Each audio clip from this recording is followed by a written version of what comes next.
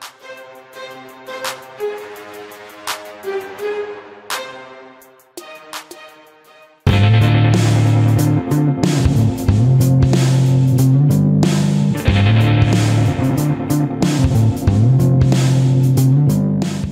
Is one of your complaints about the movie Starscream lack of color? Some would say it's like a three-year-old glued scrap to a kite, but yeah, Well, don't worry, we fixed it. they still didn't give it the G1 deco, did they? He's got graffiti. Dude.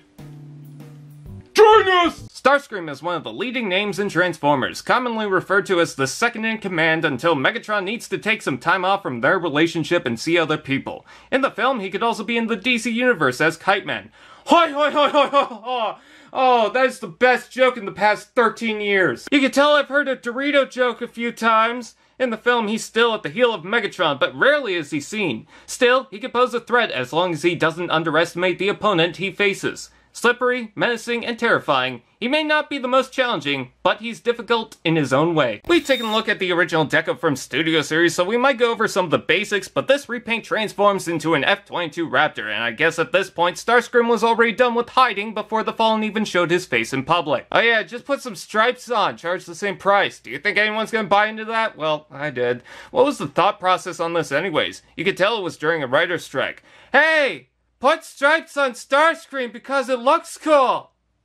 And have Soundwave float for a bit. Comparing the decos, I like the simple, grounded deco of the early version. Yes, the new one seems exciting, but they decide to break it up with chunks of dark gray to cheat. It doesn't help that on the back between the wings on top, one side is marked and the other remains untouched. Not to mention the main color. I think the desert reflection in the film, he comes off with a brown tint. The original had a lighter blue mixed with the light brown that's nearly gray to give it some, what I assume, reflective color effect.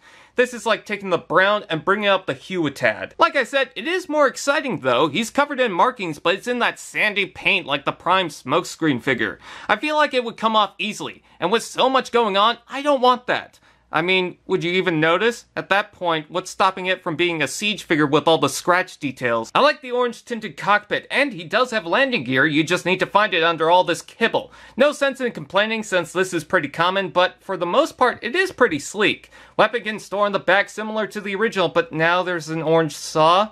Okay, if it wasn't exciting before, it is now. It's also transparent orange, and since it's around the jet boosters, it could pass as some fire blast effect. You could also port more weapons on the back wings, in the arms, and under the main ones. Even take the original, plug them under both, and now it's all even. You know what's funny? Both the second and third film use this color palette and markings. This mold is very much based on the Dark Moon toy, which inspired the first Studio Series figure that got the original deco.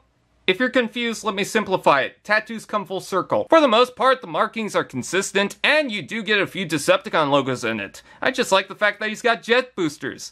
How's the masterpiece doing? I think some people will get the edgy, covered in tattoos version of Starscream over the more realistic version, simply because there's a little more going on. I get that, it's just a personal thing. Still, I can't deny it's pretty nice. Plus, the jet does a pretty good job, if you don't care for the kibble under it. Robot mode.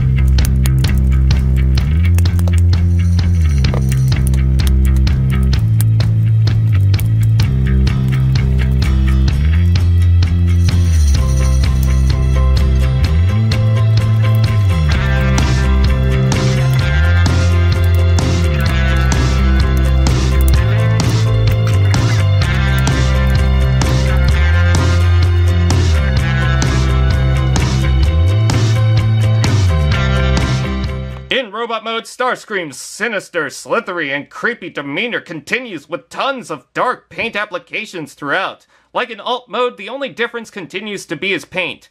Not sure why he decided to do this, or when he took the time to do it, but I guess he needed a hobby. Compared to the original, which seems subtle by comparison, this Starscream mixes a lot of the colors. Dark gray, light gray, the main light brownish color, gold, and the black stripes are like someone vomited paint that couldn't physically blend. He still has the stripes, but I just don't know if it works. I think it was darker than the robot anyways. Is that even a brownish gray main color? Are my eyes playing tricks on me? I'm just gonna call it that. I appreciate all the colors going into it, but for example, the head doesn't blend with the dark gray, and the beams and the chest I would prefer to see in that brownish gray. I also think the stripes could have been better.